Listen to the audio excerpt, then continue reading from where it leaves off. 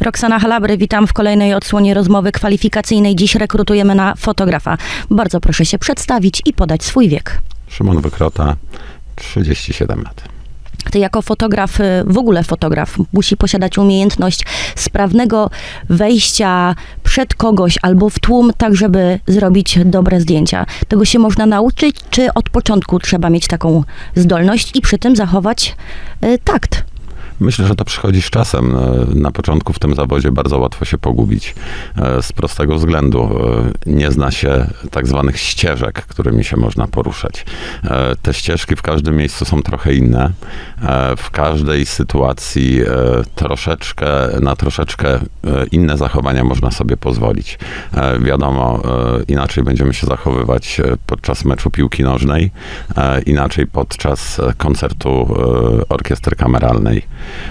Więc to życie weryfikuje tak naprawdę, e, jak podchodzimy do tematu, e, co nam wolno, czego nie wolno. Są sytuacje, gdzie trzeba być ubranym odpowiednio galowo. Panuje takie, taki pogląd, że fotografowi można więcej. Niekoniecznie. Są takie sytuacje, gdzie nam e, można więcej, bo e, wchodząc do miejsca, gdzie na przykład wszyscy siedzą, my mamy prawo się poruszać. Wiadomo, jesteśmy w pracy, mamy fotografować. E, ale są też miejsca, gdzie musimy zachować pewnego rodzaju sztywność. A masz taką sytuację, jest za tobą taka sytuacja, w której zaliczyłeś klasyczną wtopę? Nie przypominam sobie, szczerze mówiąc, są trudne sytuacje takie, kiedy się jedzie na e, wypadek czy na pożar. E, można się wtedy spotkać e, z bardzo negatywnym nastawieniem. Mnie to wcale nie dziwi, kiedy jadę na pożar, komuś pali się dom, ja robię zdjęcia, jestem negatywnie odebrany przez właściciela domu, który jest w płomieniach. Trzeba wtedy zachować spokój i być jak najbardziej kulturalnym, jak najbardziej z boku masz za sobą wiele wydarzeń. To są nie tylko y, wydarzenia kulturalne, konferencje, jarmarki, imprezy, festyny, ale robisz także zdjęcia wypadków. Czy są takie, które szczególnie utkwiły ci w pamięci, albo coś, czego nie, chciał, nie chciałeś tak naprawdę zobaczyć? Tak, to wypadki to jest chyba taka naj, najtrudniejsza część pracy fotoreportera. E, to są sytuacje, których bardzo często nie chciałoby się oglądać. E, obrazy, które zostają w głowie na zawsze. Musimy pamiętać jako fotografowie, e, że robiąc zdjęcia wypadku, robimy je troszeczkę ku przestrodze. Jest to informacja, ale też przestroga dla innych. E, czytelnika nie interesują e, jakieś drastyczne obrazy. E, nawet jeśli interesują, nie, nie pokazujmy im tego, bo to niczemu nie służy. Trzeba pamiętać, że fotografowanie wypadku ma mieć jakiś cel. Na pewno nie ma szokować, ma może troszeczkę edukować.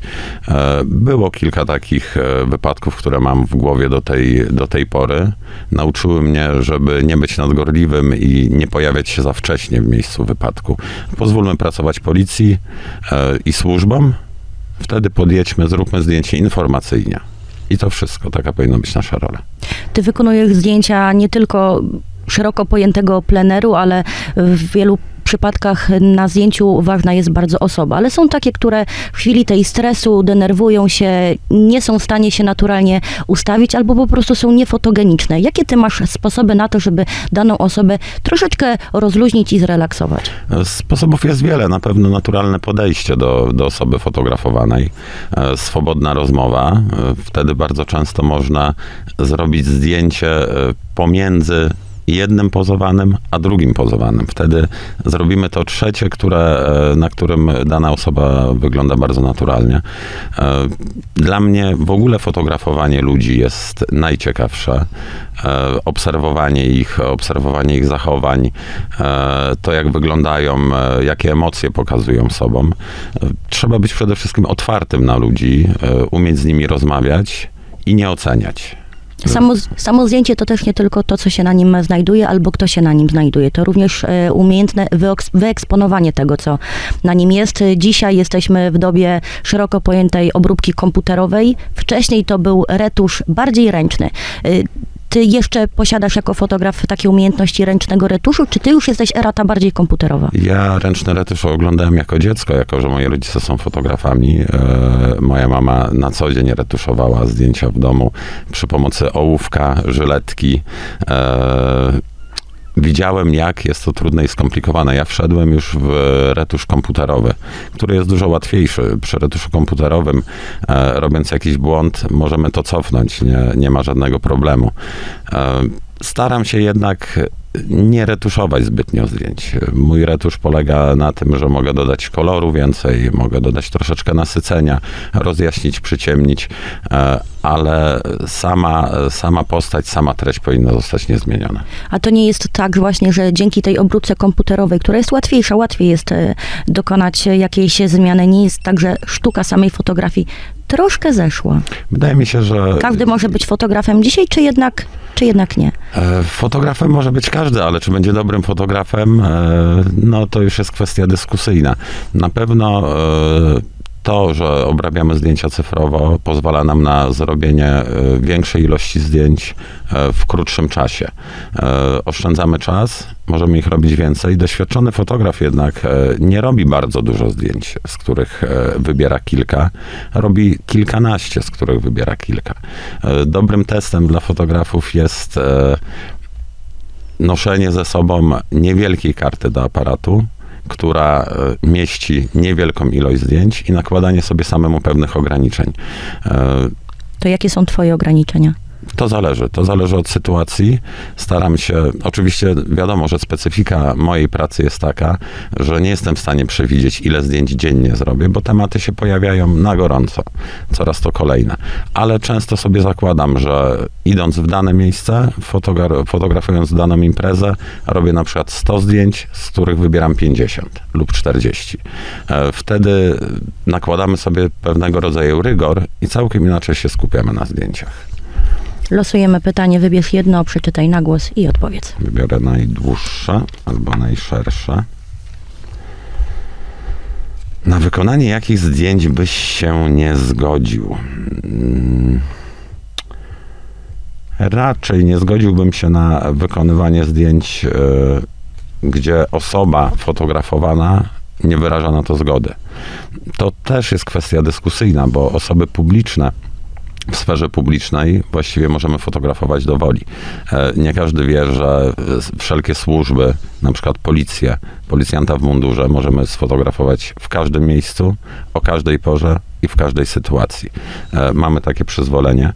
E, jednak jeśli wiem, że osoba zdecydowanie nie zgadza się, żeby być uwieczniona na zdjęciu, nie robię tego. Jeśli fotografuję gdzieś w mieście w plenerze, ktoś mi daje jasno do zrozumienia, proszę nie robić mi zdjęcia, absolutnie tego nie robię. Musimy pamiętać, że y, my jako fotografowie troszeczkę y, łatwo nam się że tak brzydko powiem, rozpanoszyć wszędzie, tak? Chodzimy, robimy wszystkim zdjęcia. Trzeba szanować ludzi. To są, e, to są nasi modele, w cudzysłowie, e, i powinniśmy podchodzić do nich z jak najbardziej, z jak największym szacunkiem e, i robić tylko to, na co nam pozwalają. A miałeś kiedyś takie zlecenie w zależności w sumie od sytuacji, ale dziwne czy niestandardowe. Kiedyś, lata, lata temu, popularne jeszcze było wykonywanie zdjęć na pogrzebach, w momencie, kiedy na przykład była otwarta trumna yy, tak, ten dla rodziny. Wraca, ten zwyczaj wraca. Yy, fotografia pogrzebowa staje się standardem teraz. Ludzie chcą mieć uwiecznione te ostatnie chwile. Yy, to też jest kwestia podejścia. Trzeba tutaj pamiętać, żeby podchodzić z szacunkiem do osoby zmarłej. A zgłosił się już ktoś do ciebie z taką propozycją? Tak, tak. Wykonywałem wiele takich zleceń. E, szczególnie osoby e, znane e, są, rodzina osób znanych prosi o, o fotografię na, na pogrzebach. No jest to na pewno psychicznie bardziej męczące. Jakoś się przenika tą atmosferą podczas pracy, ale trzeba pamiętać, że ludzie chcą mieć wspomnienia, a wspomnienia na papierze ładnie ujęte, to jest coś, czego potrzebują. Pytanie z innej beczki. Proszę omówić budowę łyżki do zupy. Och, łyżka do zupy. Łyżka do zupy według mnie składa się e, z przedłyżki e, łyżki do zupy, śródłyżki łyżki do zupy i załyżki łyżki do zupy. Bardzo ciekawa odpowiedź. I ostatnie pytanie. Proszę sobie wystawić szkolną ocenę za tę rozmowę. 1,6. Nie wystawiam sobie ocen generalnie. Uważam, że e, to inni powinni wystawiać ocenę. Ci, którzy oglądają moje zdjęcia, niech mnie oceniają śmiało. Będą Ja. mieli okazję, tak, na jakiejś dużej wystawie? Masz w planach E, organizację? Generalnie nie jestem fanem wystaw e, jednej osoby. E, Jeśli już, bardziej wystawy zbiorowe. Zresztą w tych czasach internet jest jedną wielką wystawą. Tam można się publikować, tam każdy może zainteresowany dotrzeć do, do tych zdjęć. Oglądajcie, oceniajcie, krytykujcie, komentujcie. Moim i Państwa gościem był Szymon Fotak-Wykrota. Dziękuję za rozmowę. Dziękuję. A od niedawna mogą Państwo oglądać zdjęcia Szymona właśnie na portalu cozadzień.pl, jak i całą rozmowę kwalifikacyjną. Zapraszam do usłyszenia. Roxana Halabry. Ciao.